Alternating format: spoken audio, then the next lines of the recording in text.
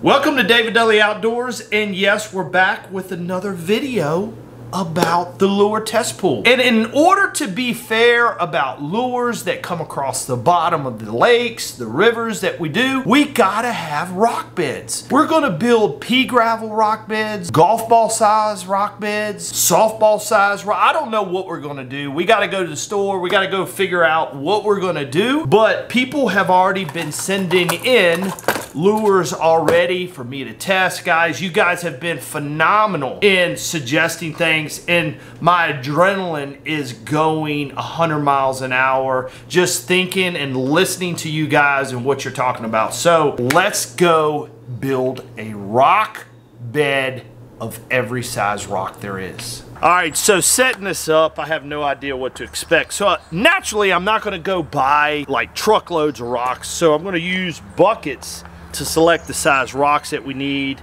just to cover the wood that we're going to be putting this on. All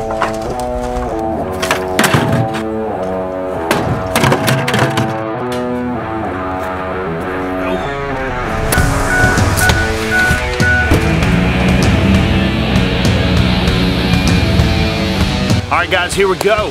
As you can see, we got a big selection of rocks and my mind is going crazy. I like this size. And the reason I'm gonna be very specific in what I choose, I wanna study what do jigs do when they come through pea gravel? Are the arms still moving? Are they standing up? Are they rolling? I wanna be able to take a standard drop shot rig. I wanna take a shaky head. I wanna take square bill crankbaits. I wanna take deep diving crank. I want to look at what they do in each scenario of rocks that we're fishing. I kind of like these, this size rock. Uh, it actually looks a little bit jagged. Uh, it's not smooth and round. It's got kind of a, a mixture we're definitely going to do a bed of this. This rock is definitely going to be in a player. And the reason I love this rock, a lot of times you're looking for rocks, you're looking for transition areas. We are definitely going to be making a bed out of these rocks. Wow. I really like this rock right here. Just imagine a jig just or a crankbait. Pop, pop, pop, pop, pop, wiggle warp. Pop, pop, pop. Can you tell my mind's going crazy? No doubt we're gonna do a bed of this rock right here for sure.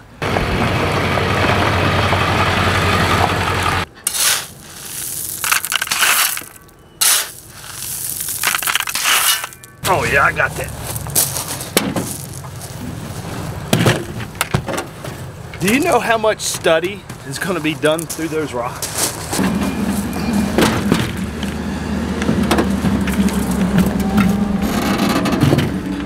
All right. Now, let's go get that, that kind of mid-range rock. Mid-range. It's gonna take a little longer.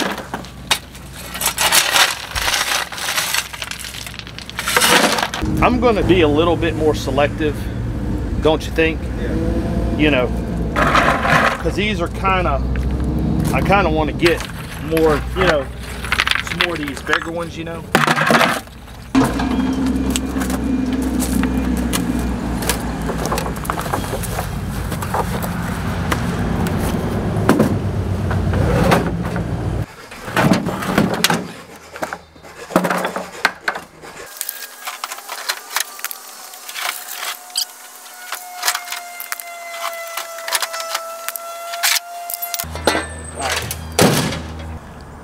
That is the horse poo-poo from the stall barn right there, where we keep our horses.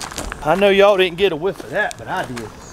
So we're gonna have to clean these rocks just so mud and stuff doesn't get in the pool. So we actually used these, this for sifting rocks earlier this year. And we could place our rocks in here and pressure wash them Ouch. You ever seen them shows where they take those baskets and balance them on their head? They have like baskets of laundry and they walk. Woo! Check that talent out. Woo! Who says I can't dance? So naturally, we're gonna have to clean these rocks before I put them in my test pool because I don't want my pool to be muddy. We want to see clearly what all the lures are doing with these rocks. So yes, we're gonna take these rocks and we're gonna pressure wash them in our sifting box. I hope you guys can appreciate the details that I'm going through with these videos. I am excited just as well as you guys. I can tell in your comments how excited you guys are as well as I am. So we're gonna clean these up and make sure we don't have muddy water in my pool. Who wants a bath first? Oh, I'm raising my hand. I want a bath. I want a bath. Well, you're gonna get a bath.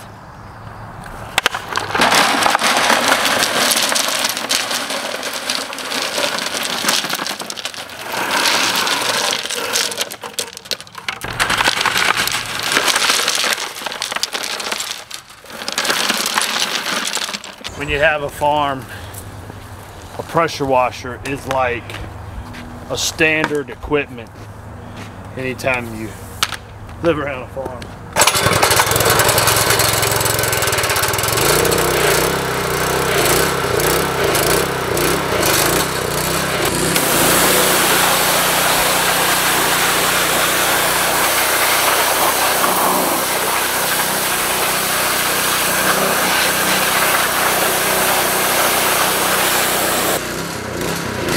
You see all that mud? That would have went in our test pool. No good.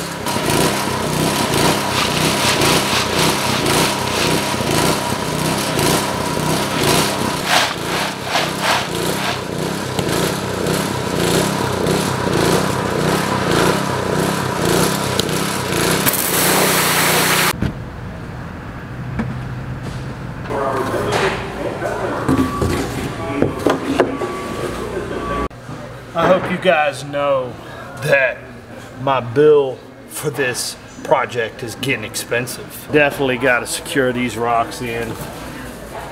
Hope liquid nails holds them. You can never go wrong with liquid nails. And we got to get us some fast grab because we got to cover the whole plyboard. Man, it's getting expensive.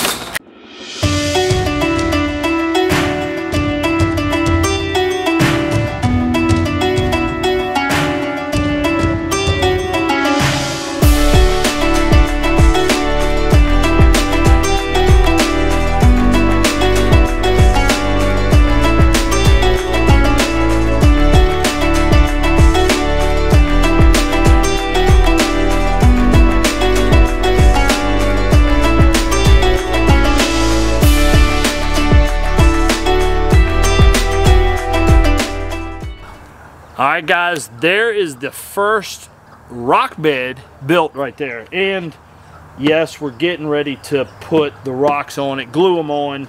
But I built it to where I left a little bit of space. I didn't want it rubbing the bottom of the pool. We're gonna take those little uh, swimming noodles and attach them on the bottom so when we do place it in the bottom of the test pool, it's not gonna wear and tear on the bottom of the pool. So excited, solid.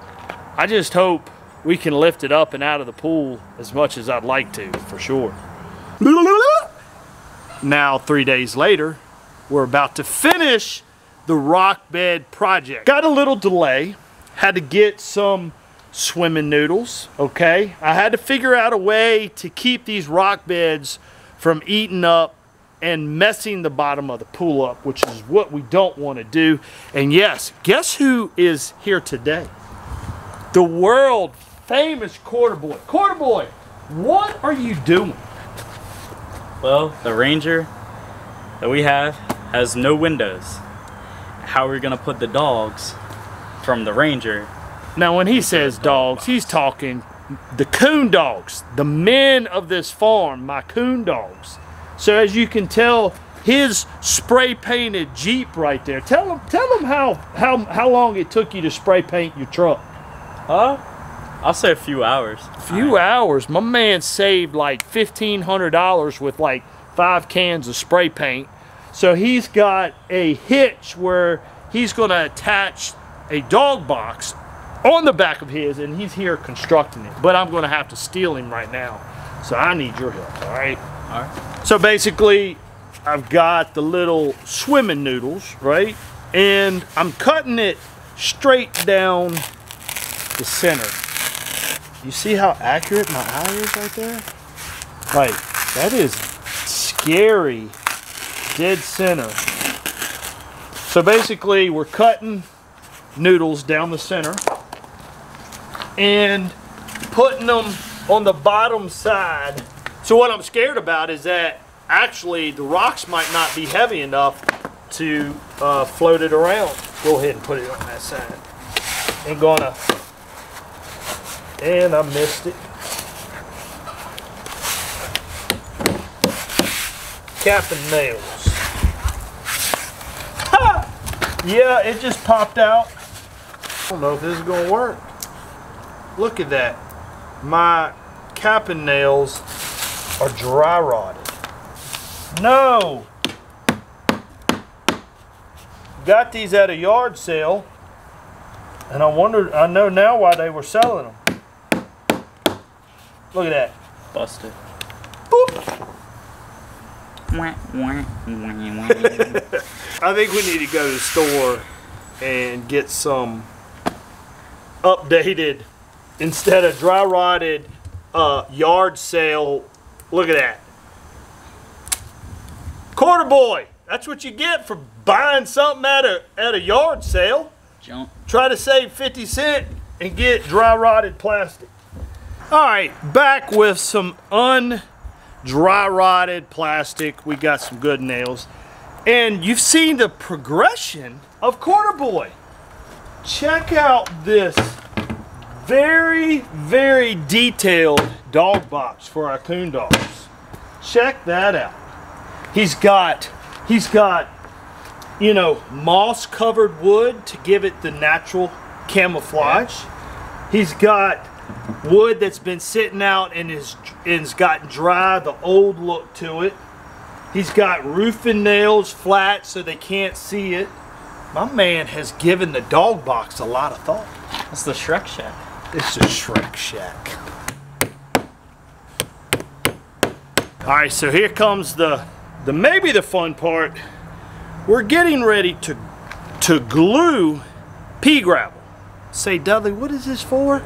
Well, we're gonna take pea gravel and study crankbaits on pea gravel, study crankbaits on different size rocks. I hope this works. So we got glue. We're gonna take the pea gravel and actually put them in. See, there's a real, there's a real exact science to this. Oh, I was off a quarter of an inch right there.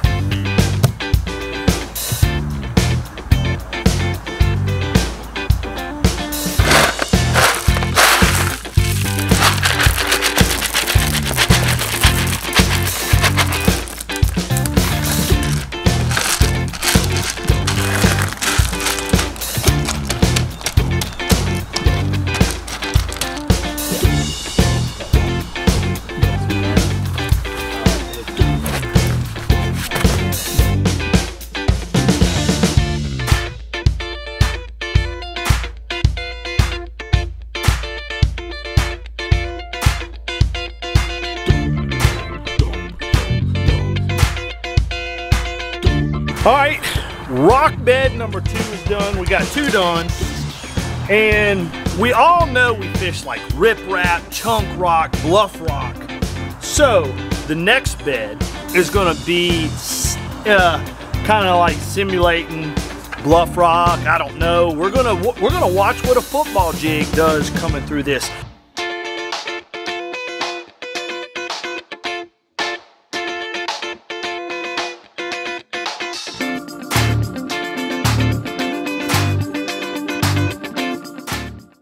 There you have it.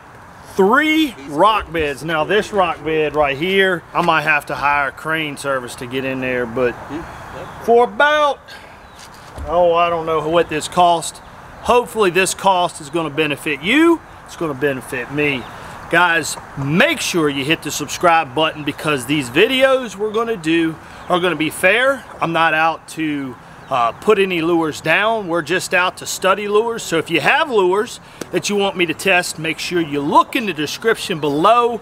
See where you can mail your lures to. So make sure you contact me for more information about maybe displaying your lures, studying your lures. I will be excited to do that for you. So uh, make sure again, one more time, you hit the subscribe button Thank you for joining in. Our next video is going to be searching for the perfect bush to flip.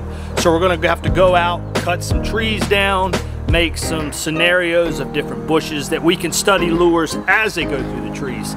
All right, guys, I'm giving you the outro